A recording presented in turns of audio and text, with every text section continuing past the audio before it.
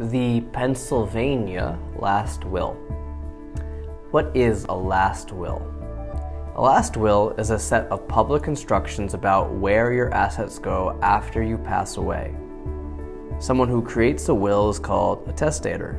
A person receiving under the will is called a beneficiary.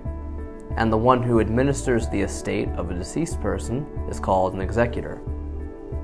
Why create a last will?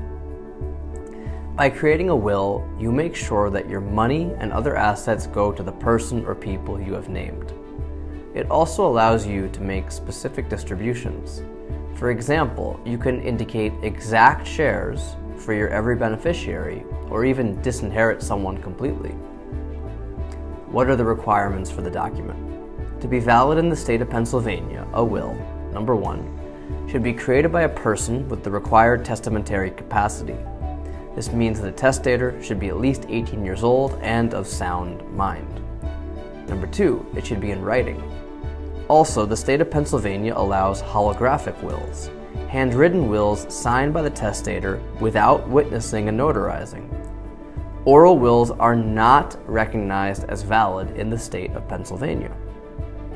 Number three, it does not require the presence or signatures of witnesses, unless a testator cannot sign the will themselves or can sign only with a mark. Number four, it does not have to be notarized, but you can make your will self proving by attaching a self proving affidavit to it, and that requires notarization. How can a will be revoked?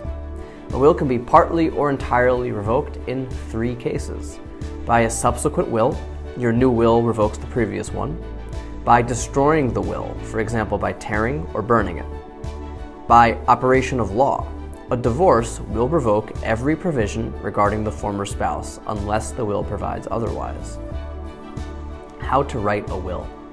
A will can be written in three ways by yourself, by handwriting, or using a fillable template, with the help of a lawyer or a law firm, which might be quite expensive, or through our step by step builder that will allow you to create a highly customized last will.